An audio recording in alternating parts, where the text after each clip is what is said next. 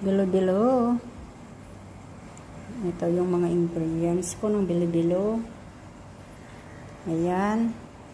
Kamuting kahoy. Kamuting purple, saging, langka. At sago. Ayan guys. Pangbukas po yan. Naka-ready na. Ready ready ng aking bilo-bilo.